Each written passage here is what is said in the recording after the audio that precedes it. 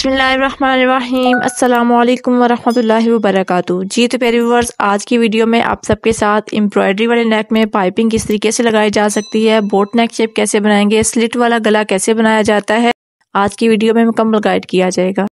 तो वीडियो को स्किप किए बगैर मुकम्मल वॉच कीजिएगा। मेरे पास लॉन्ग स्टाफ में ये कमीज़ है, इसके बैक साइड पे स्लिप अटैच की है। अच्छा यहाँ पे ये जो मैं सिलाई लगा रही हूँ, ये इसलिए लगा रही हूँ कि बैक साइड पे जो है, इसकी एम्ब्रॉयडरी की शेप या इसकी नेक की जो शेप है ना, वो वाजे नज़र आ सके।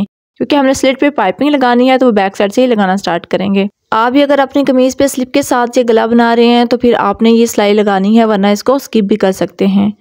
ये सिलाई लगाने का मकसद यही होगा कि बैक साइड से इसकी शेप जो है, वाजे नज़र आ सके। अगर स्लिप अटैच नहीं करेंगे तो बैक पार्ट पे जो एम्ब्रॉयडरी की शेप है, वो क्लियर नज़र आएगी। इसके बाद जो पाइपिंग लगाएँगे, वो नेक के सेंटर पार्ट से लगाना स्टार्ट करेंगे। आप ऊपर से भी लगा सकते हैं, लेकिन मैं यहाँ पे सेंटर पार्ट से लगाना स्टार्ट करूँगी। इसके लिए मैंने सेम बेस कलर का फैब्रिक ले लिया है। इसकी लंबाई हमने इतनी ली है जितनी स्लिट की लंबाई है। यहाँ पे तकरीबन आठ से नौ इंच लंबाई चाहिए तो मैंने जो कपड़े की लंबाई ली है, वो दस इंच ली है। ठीक है, ये देखिए टेन पॉइंट फाइव इंचज़ है। अब इसकी जो चौड़ाई है, वो थ्री इंचज़ से लेकर थ्री पॉइंट फाइव इंचज़ भी ले सकते हैं। इस पर ज़ीरो बुकरम मैंने लगा लिया था। आप ज़ीरो बुकरम लगाना चाहें तो लगा सकती हैं। ज़ीरो बुकरम से ये है कि थोड़ी सी पायदारी आ जाती है। इसके बाद इसके सेंटर क्रीज बिठा के हमने नेक के सेंटर क्रीज के साथ मिला लेना है। और जैसे हमने सिलाई लगाई थी, उसी सिलाई को फॉलो करते हुए सिलाई लगाते जाना है। मैंने पाइपिंग के लिए जो कपड़ा लिया है, वो बेस कलर का कपड़ा था मतलब ट्राउज़र का ही फैब्रिक है, लेकिन आप जो है कंट्रास्ट फैब्रिक भी ले सकते हैं। मतलब यहाँ पे अगर मेहरून भी लगाना चाहते तो हम कंट्रास्ट में लगा सकते थे। यहाँ पे पाइपिंग के लिए जो हमने कपड़ा लगाना था, वो अटैच हो चुका है। इसके बाद हम इसकी कटिंग कर लेंगे। ये जो सिलाई लगाई थी, इसके सेंटर से हमने कटिंग करनी है। और जो इसकी एंडिंग पॉइंट है मतलब जो इसकी नोक है, वहाँ से आपने कट कैसे लगाना है, ये और से देखिएगा। ये देखिए, इस तरीके से हमने तिरछा कट लगाना है। लेकिन ख्याल रखिएगा कि सिलाई जो है वो कट ना होने पाए। अब इस कपड़े को मगज़ी की तरह फोल्ड कर लेंगे। ठीक है, मगज़ी आप बारीक रखना चाहें, मोटी रखना चाहें, वो आप पे, मैं चूँकि यहाँ पे बूट पाइपिंग बना रही हूँ तो मैंने इसके ऊपर सिलाई लगानी है थोड़ी सी मोटी रखनी है। बस सिलाई लगाते हुए आपने एक बात का ख्याल रखना है कि जो सिलाई होगी वो बूट पाइपिंग के ऊपर आएगी। मतलब जो एम्ब्रॉयडरी वाला पार्ट है या कमीज़ का पीस है, उसके ऊपर सिलाई नहीं आएगी। अब दूसरी साइड पे जब सिलाई लेके आनी है तो इस बात का ख्याल रखना है कि पाइपिंग जैसे पहली साइड पे हमारी पाइपिंग की चौड़ाई थी, बिल्कुल यहाँ पे भी इतनी ही होनी चाहिए। और सिलाई पाइपिंग के ऊपर आएगी। इस बात का बस आपने ख्याल रखना है। पाइपिंग लगाने के बाद इसका जो एक्स्ट्रा कपड़ा होगा, वो उल्टी साइड पे फोल्ड करके आप तुरपाई भी कर सकती हैं। मैं तुरपाई यहाँ पे लास्ट में करूँगी। ये देखिए, इस तरीके से आपने जो है वो हाफ़ इंच तकरीबन छोड़ना है, बाकी अंदर की तरफ़ फोल्ड कर लेना है। इसके बाद जो एम्ब्रॉयडरी वाला हमारा नेक है, इसकी कटिंग कर लेंगे। लेकिन एम्ब्रॉयडरी के साथ साथ कटिंग नहीं करनी। हाफ़ से एक इंच कम जो, एक पॉइंट कम जो है ना, वो हमने दबाव छोड़ना है। और एक्स्ट्रा कपड़ा कट कर लेना है। और बिल्कुल जैसे इसकी एम्ब्रॉयडरी की शेप होगी, बिल्कुल वैसे ही उसकी साथ साथ कटिंग करनी है। लेकिन सिलाई का मार्जिन जो है, यहाँ पे आप छोड़ेंगे। इसके बाद गले की चौड़ाई जो है, वो मैयर करेंगी, गले की लंबाई मैयर करेंगे और बुकरम पे ऐसे कट कर सकती हैं। लेकिन जो बेस्ट तरीका है, वो ये कि ये जो अंदर से हमने कपड़ा निकाला था, इसी को बुकरम के ऊपर रखेंगे और कटिंग कर लेंगे। इससे ये आसानी होगी कि जैसे एम्ब्रॉयडरी पे नेक की शेप होगी, बिल्कुल वैसे ही परफेक्ट शेप आएगी। ये देखिए, यहाँ पे जो सेंटर से कपड़ा निकला था, उसको बुकरम फोल्डेड बुकरम के ऊपर रखा है और जैसे उसकी शेप थी, उसके साथ साथ ड्रॉ करके और वैसे कट कर लिया है। नेक की कटिंग करने के बाद इसके सेंटर से कट करेंगे।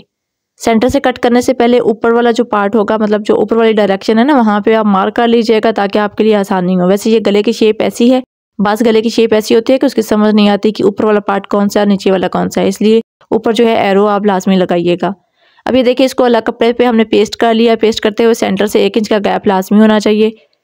और उसके बाद हमने ऐसे इसकी कटिंग कर लेनी है। जो बुकरम होगा, उसके किनारे के साथ साथ कटिंग नहीं करेंगे। जितना मार्जिन हमने कमीज़ पे छोड़ा था हाफ़ इंच से एक पॉइंट कम, इतना ही यहाँ पे मार्जिन इसका छोड़ के कटिंग कर लेंगे। सिलाई लगाते वक्त एक बात का ख्याल रखना है कि ये जो हमने मार्जिन छोड़ा था, ऊपर और नीचे तकरीबन सेम था, लेकिन सिलाई लगाते वक्त इसकी बुकरम की जड़ पे सिलाई आएगी और नीचे जो हमारी कढ़ाई हुई है कपड़े पे, उसकी जड़ में सिलाई आएगी।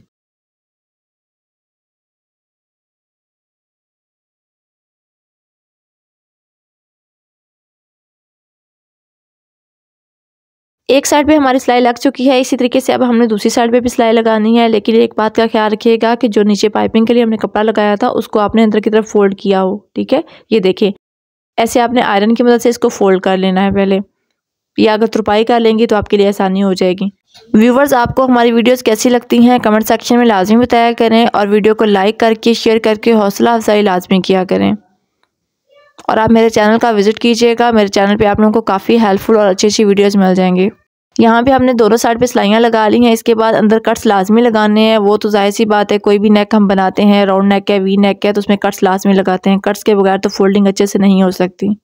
इसके बाद इसको अंदर की तरफ़ फोल्ड कर लेंगे, लेकिन ये जो नीचे वाला मार्जिन है, उसको कैसे फोल्ड करना है, ये गौर से देखिएगा।